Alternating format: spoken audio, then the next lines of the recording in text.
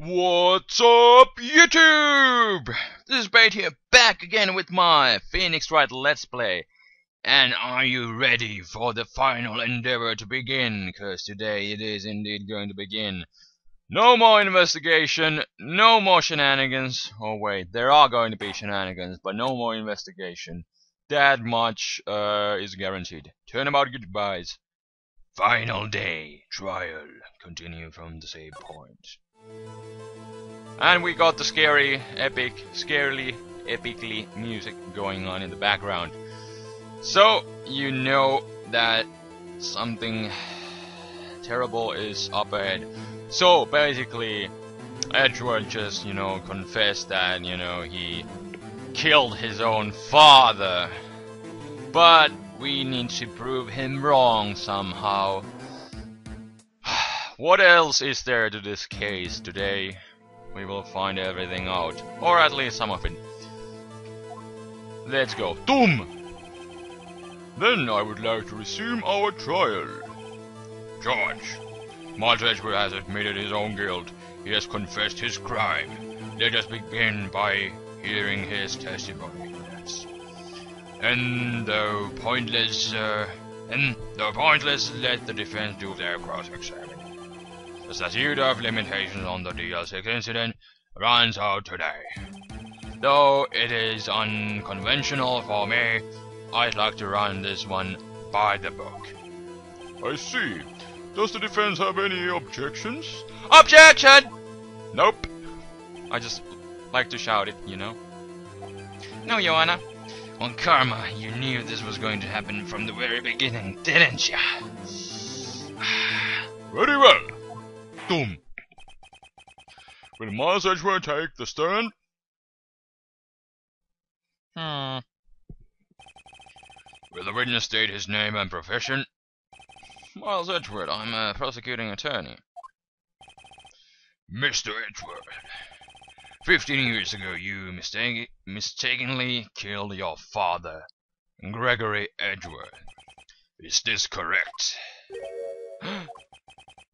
It is correct. Then testify about this matter to the court. When Edgeworth was telling me about his dream yesterday, I noticed something. One detail didn't quite fit. Hmm, that will be the key, but only if I can get it to work. Hmm, please, please. Da da da. The DL6 incident. Music, go! That day I had gone to the courtroom to observe one of my father's trials. As we went to leave, an EQ struck, trapping us in the elevator. my father and Mr. Yogi lost their composure and began to argue. Just then something heavy fell at my feet. I picked it up and threw it at Mr. Yogi. I wanted them to stop fighting. Boom. A moment later, there was a single gunshot and then a scream. It was a terrible scream. I remember it to this day. That's all. Hmm. Predicted the hmm. And until you, until now, you thought this memory was a dream. We were stuck in that elevator for five hours. The oxygen in the elevator ran out and I lost my memory of the events. Bah! The same claim Mr. Yogi has made. Very well. Mr. Wright, your cross-examination, please. Yes, Your Honor. The DL6 incident. But where is the contradiction? Uh-huh. Earthquake struck, uh, trapping us in the elevator. You know, that is so far. That that is all true. Yes, lost their composure and began to argue. Just then, something heavy fell at my feet. I picked it up, it at Mr. Yogi. You know, and he is sure that it is a gun, although he doesn't really remember. Uh, a gunshot, then a scream. Hmm. It must be something over here, so uh, let's... Um, something heavy fell at my feet. Let's begin by pressing him and, uh, you know, see if we can get something information. What was it? A pistol. Oh. I assume it was the bailiff Yanni Yogis.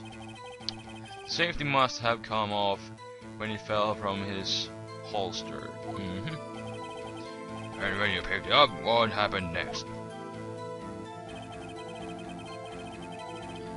Okay, then you pick it up.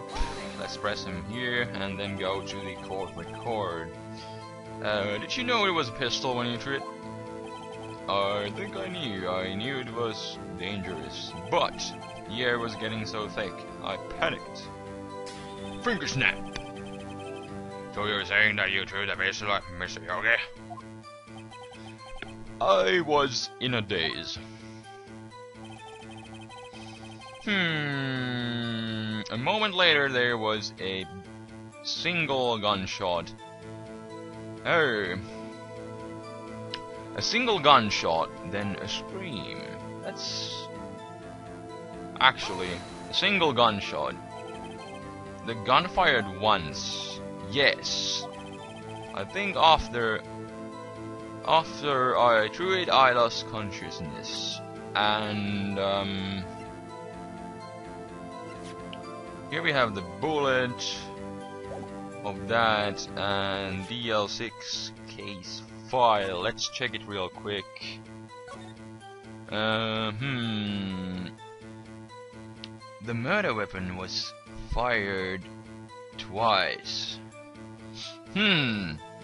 I think I think the only contradiction that I can find here is this victim data. The murder weapon was fired twice, so we got some same shenanigans that we uh, that we had uh, with the uh, current case at hand that we already, you know, declared Edgeworth is uh, not guilty of that.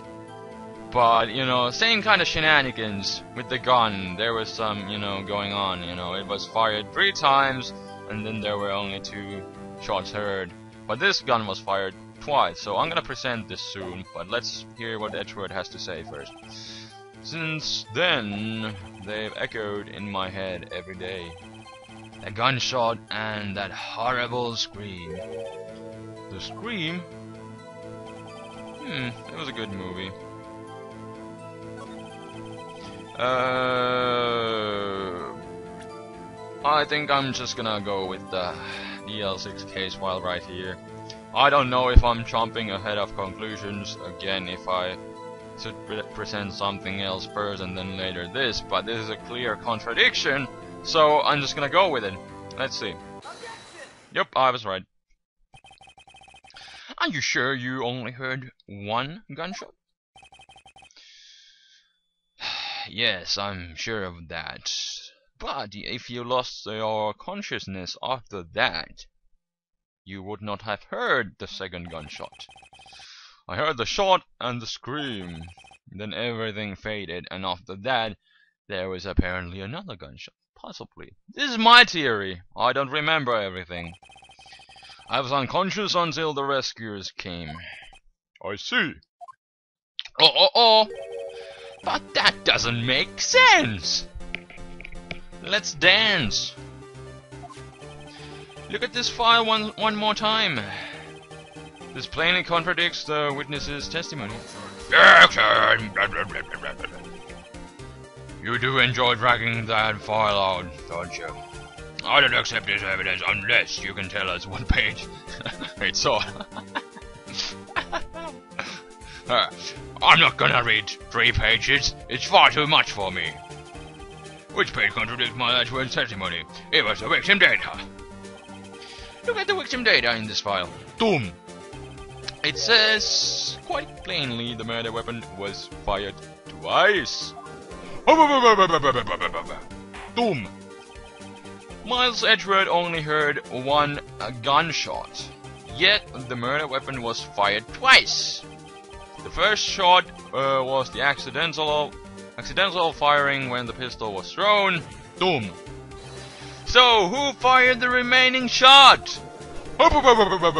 Oh, god damn it! Hmm.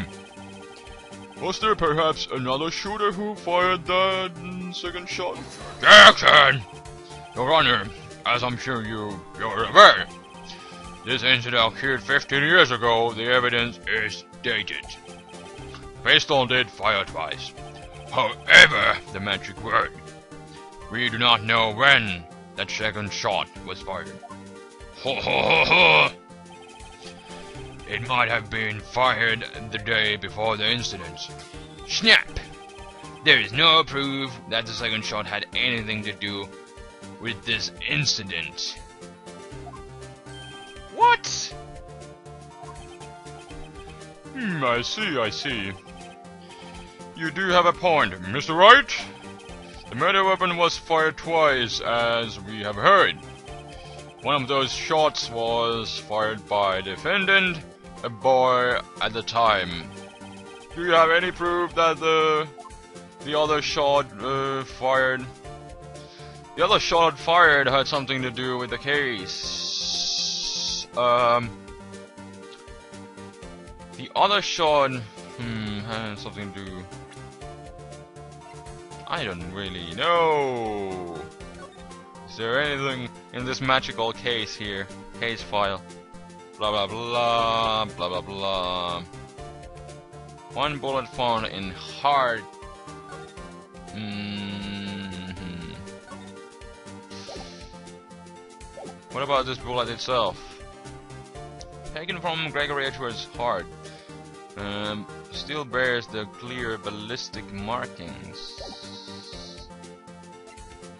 What about? Uh, oh yes, this is a yes. I do I have any proof? I wanna say yes, but you know. Wait a minute. Uh. Hmm, there's something over here. Could this? Well, he could have. Oh wait! Of course! It all comes to me now. Yes, yes, yes, yes, yes. Can you see this here? Then can you see this man over here? And let's check the bullet real quick.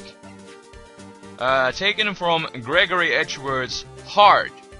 Yes, it was taken from his heart, meaning uh, the bullet didn't go through, meaning here is the second shot. Yes, I do have something. Yes, yes, yes, yes, yes. Excellent, I do have something. Haha, dumb. Your Honor, I think uh, I will be able to show you the proof. What? Impossible! No, no, Mr. Von Karma, save your surprise for after you've seen the evidence. Very well, uh, Miss Wright. Show us your proof. Ooh, I like this music. Do you have uh, evidence? What? Wow, that was a random one second lag, but uh, cool. I don't know if it shows in the recording. Most likely will. But anyways, I digress. Do you have the uh, evidence that the second firing the pistol is related to this incident? Yup, I do have it right here, the DL6 incident photo. Take that! Look at this photograph! Do I really need to show it to the point, you know? You can see it. This is a photograph of the scene of the crime 15 years ago. I can see that the victim is lying lying there is Gregory Edgeworth. This proves that the murder weapon was fired twice at the time of the incident. This photo proves it. Durr. Oi? So let me guess this straight. This photo proves that the two shots were, were fired? Where? Uh, Your Honor, please get get a clue. Okay, let's show him. So the judge, and we're gonna show this one right here. Doom. Uh, should be obvious, the contradiction is here. I see a bullet hole in the door. Doom. Your Honor! Gregory Edgeworth was killed by a shot from the pistol. Yet there is also a bullet hole in the elevator door. We also know that the murder weapon was fired twice. Thus, someone other than Edgeworth fired that second shot. Go, go, go, epic music. Doom, doom, doom. Order! Double. Mr. Wright, what are you driving at? It's simple, Your Honor. At the time of the incident, two shots were fired. One of them went into Gregory Edgeworth's heart. The other hit the elevator door. Doom. Remember that the defendant lost uh, consciousness after the shot he fired rang out. In conclusion, he we must agree that the second shot was fired by someone else. Mr. Wright, but who who could that someone else be? The murderer, of course. Jackson! I knew I should have stopped you. I stepped in before your wild fantasies got out of hand. Mr. Wright, look one more time. Look once more at the DL6 incident case file. Look closely. Try the case summary page. The case summary, hmm, that's page one. Look what is written there. Not a single clue was found on the scene. A single clue of what? the pistol had indeed been fired two times. Then the other bullet would have been discovered on the scene. Ah, he does have a point. The second bullet has never been found. Doom. Why? Because the second bullet does not exist. The bullet uh, that claimed Gregory Edgeworth's life was the one fired by his own son. Okay. That is the truth to this matter. The whole truth. It was undoubtedly something else that made that bullet hole in the door. Order! I will have order! Bye bye! Mr. Wright has proven one thing uh, to us quite clearly. That the murder weapon was fired twice at the scene of the incident. However, as Mr. Von Karma says, the second bullet fired was not found. It is highly unlikely that the police merely overlooked the second bullet. Doom. So, all we have is the single bullet fired. I'm afraid I have to discount the defense's claim. Ha ha ha.